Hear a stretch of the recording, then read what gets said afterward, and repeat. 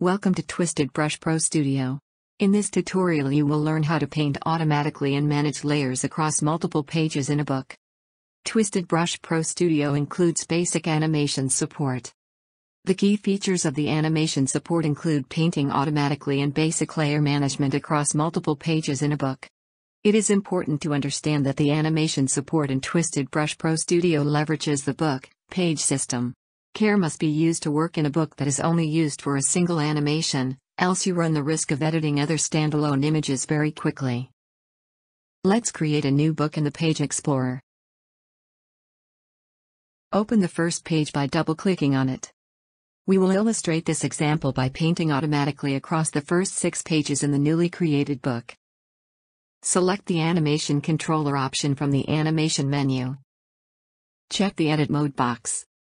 The Edit Mode checkbox controls if the painting will occur across multiple pages or not. Also enables and disables the layer buttons. Note that the Edit Mode will be automatically turned off if different page sizes are detected.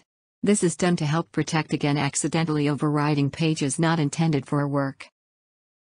The Paint Dabs per frame slider controls how many paint dabs will appear on a frame or a page before the next one will receive the paint.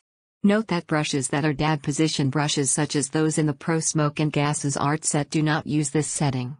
Instead, they place each new dab on a new frame. Select the frame span by setting the first and the last page you will work on. In this case the first or current frame is the first page in the book, and the last one is page number 6. Now, let's select a brush and paint. When the set number of dabs per frame is spent for the current page, the page will be turned automatically and the painting will continue on the next page.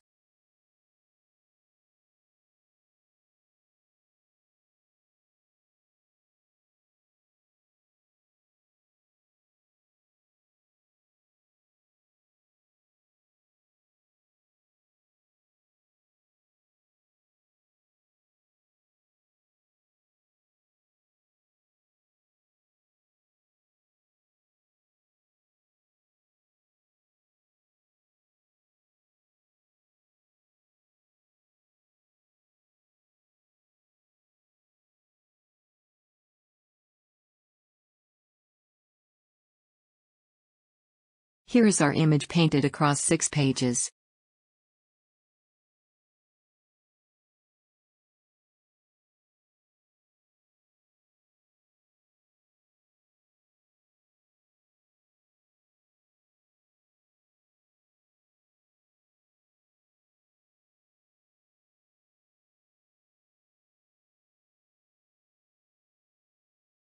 We can also play it as an animation with the play button or to save it as a GIF or AVI file. The same way you can manage layers across multiple pages.